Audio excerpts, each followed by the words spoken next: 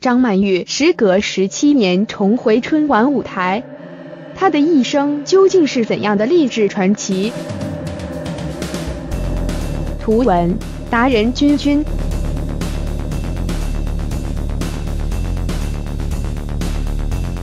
近日春晚第一次彩排进行，立马就上了微博的热搜排行榜，就有网友曝光参加彩排的明星。随后，更有媒体爆料，今年春晚最神秘嘉宾不是之前的周杰伦，而是女神张曼玉。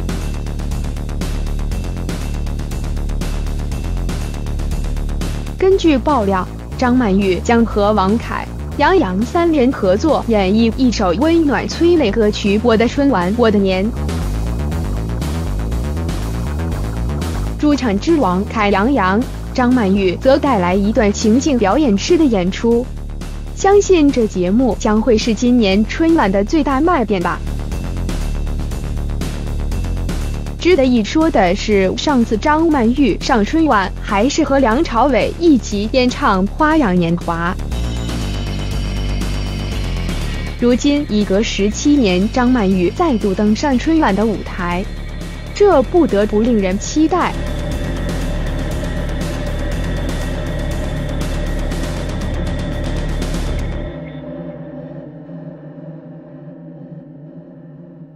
那时候的张曼玉刚演了《花样年华》，可谓颜值的巅峰。她和梁朝伟的春晚牵手的一曲《花样年华》，不亚于王菲那英的《相约九八》。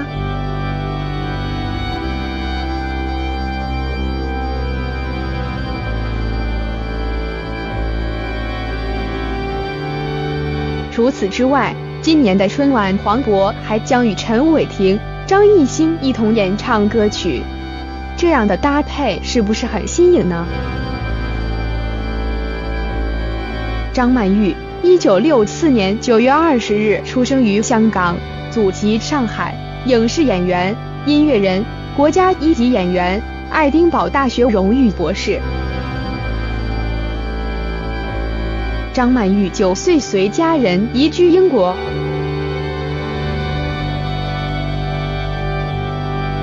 和许多参加选美的女孩一样，张曼玉也希望通过参加选美节目改变自己的人生。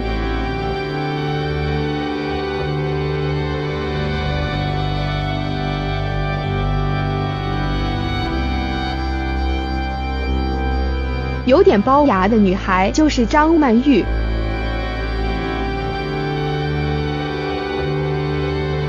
这是十七岁的张曼玉。那一年，她从第二故乡回到香港，被星探发掘当兼职模特。谁也没想到，这个青涩的小丫头日后会让整个华语影坛为之倾倒的女人。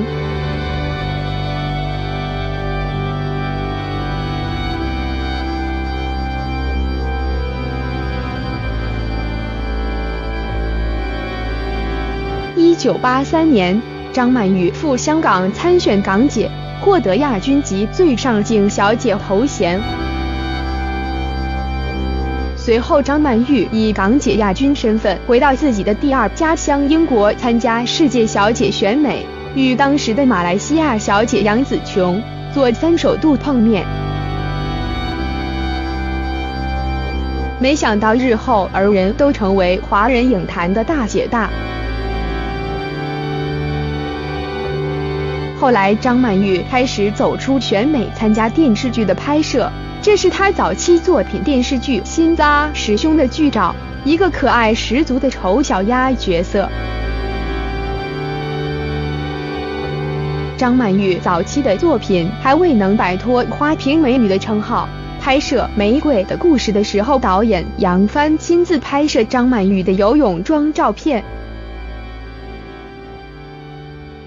牙曾经是张曼玉的一个招牌，也是她的一个缺点。为此，张曼玉进行了牙整形手术。手术后的张曼玉逐渐走红，却失去了一个爱她的男人。东方三侠，也许没几个人记得这部电影了，但在这部电影中，张曼玉和主演梅艳芳结下了深厚的友谊。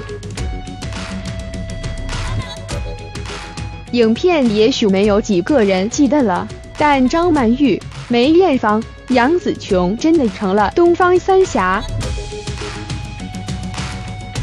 张曼玉不仅现代装漂亮，古装也充满了飘逸的美，这是在已经成为经典的影片《东邪西毒》中的造型。张曼玉曾经说过：“当影后谈何容易？我向来以拍摄商业片及喜剧为主，自知能争取奖项的机会不多，还是专心努力拍戏，多赚点钱。”然而，就是这个扎扎实实拍戏、没有远大理想的张曼玉，却凭借电影《阮玲玉》改变了自己的命运。虽然时代不同，命运不同，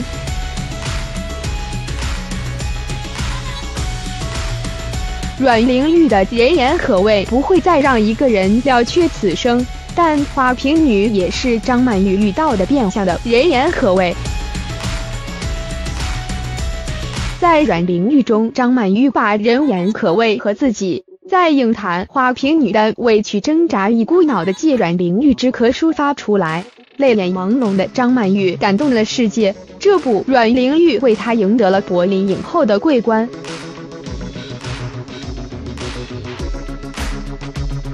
她也成为第一个获得国际影后的中国女人。这个时间早于巩俐凭藉《秋菊》打官司获得威尼斯影后的时间。张曼玉从此与众不同。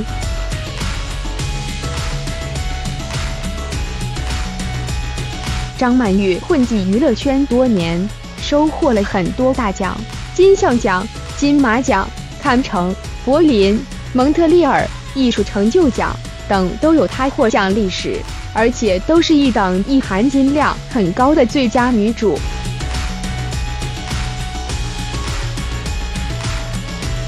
此外，她还是爱丁堡大学荣誉博士，联合国儿童基金会中国大使。除了拍戏，张曼玉时尚方面也很给力。二零零八年被英国媒体誉为影响世界十大时尚明星。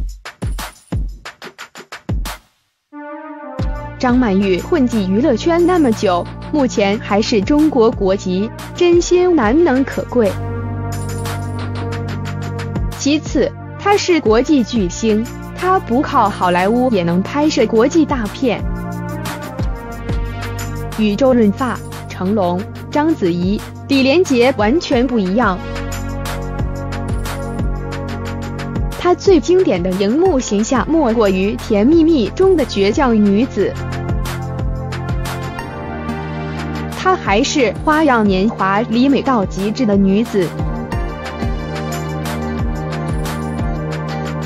她还是《旺角卡门》里的纯情少女，她还是《青蛇》里敢爱敢恨的小青，她还是《新龙门客栈》里独具韵味的老板娘。无论是穿古装、持刀枪，还是住旗袍、游走于风月场上，她都能够出色的完成表演使命，宛若一位千面女郎。从影多年，她扮演了一系列复杂的人物，并且相当深刻的展示了人物的内心世界。她通过细微的眼神。表情和动作来传达女主人公内心的情感波澜。演艺事业外，张曼玉热心公益慈善。二零零七年参与发起女性创新与梦想基金。二零一零年担任联合国儿童基金会中国大使。张曼玉获奖数量涵盖十余个国际影展。一九八三年获得香港小姐亚军出道，一九八九年至二零零一年共获得四届台湾电影金马奖最佳女主角、五届香港电影金像奖最佳女主角和一届台湾电影金马奖最佳女配角。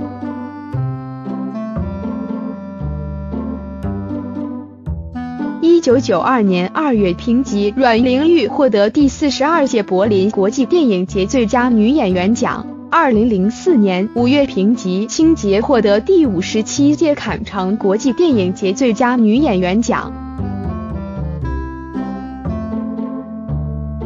一九九七年受邀担任柏林国际电影节评委会成员。一九九九年受邀担任威尼斯国际电影节评委会成员。二零零七年受邀担任坎城国际电影节评委会成员。一九九八年踏上巴黎时装周 T 台专业走秀，开启了华语影星参与国际顶级时装周的先例。二零零八年被英国 WGSN 评入影响时尚界的十大明星，同年被 Vogue 授予时尚偶像大奖。二零零四年九月获巴黎荣誉市民勋章，二零零五年获蒙特利尔国际电影节艺术成就奖，二零零七年获上海国际电影节杰出贡献奖，同年被《纽约时报》评入年度世界影坛二十二位伟大表演者。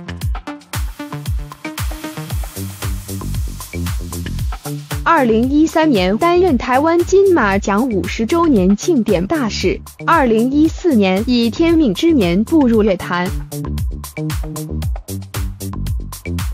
事业顺利的他，在感情上却很不顺利。一九八七年，张曼玉与导演尔冬升相识相恋。一九九零年分手，同尔冬升分手后，他与美国人汉克相恋了。但谁也没有想到。这位汉克先生竟然在媒体杂志上赫然公布出张曼玉给自己的许多封情书内容。这一次，张曼玉输掉了自己的尊严和怜悯。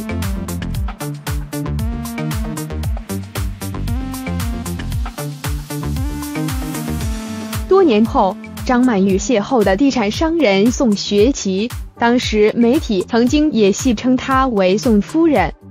随后，宋学奇的生意出现资金短缺，张曼玉就毅然的拿出自己的所有积蓄而投入男友的公司，无奈最终男友的生意失败而公司倒闭，张曼玉的积蓄也血本无归。后来，宋学奇移情别恋上一位富家千金，张曼玉遭遇薄情郎，人财两空。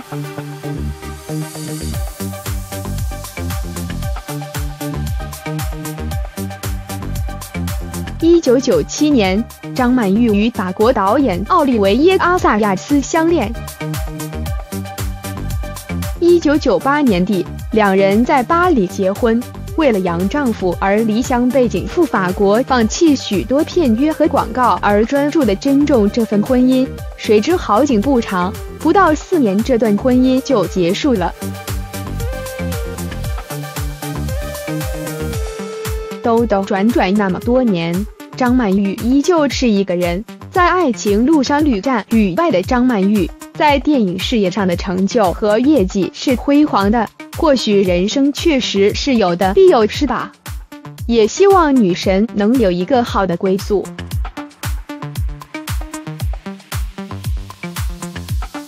而张曼玉和梁朝伟那段朦胧的感情也被传为一段佳话。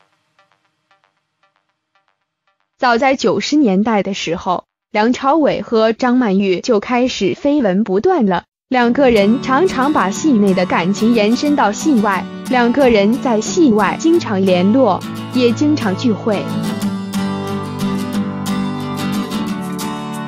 在那个美女云集的时代里，张曼玉不是长得最漂亮的女孩子，但却是长得最清纯净丽的女孩子。尤其是她的性格比外形还要可爱的多。张曼玉与梁朝伟早在入行之初就暗生情愫了。梁朝伟曾对他母亲说过，他最爱的女孩子就是张曼玉了。张曼玉在美国长大，骨子里既有东方美女的矜持。又有一国女子的风情，曾经让梁朝伟沉沦不已。有人说张曼玉是一杯红酒，红酒醇厚而优雅，常常令人回味悠长。但可惜这段感情终是无疾而终。正如开篇所说，张曼玉是梁朝伟不合适的时间里出现的红颜。不得不说，张曼玉这一生足够传奇，足够励志。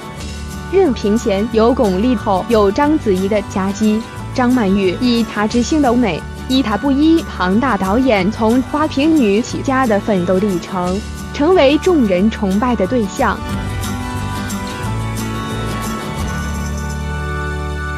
在众多女明星眼中，张曼玉才是他们真正的偶像，真正奋斗的目标。也许多年后。人们提起张曼玉，还是会记起这个十七岁出道的龅牙妹，一个凭借个人奋斗蜕变成一举手一投足都散发出无穷魅力的女人。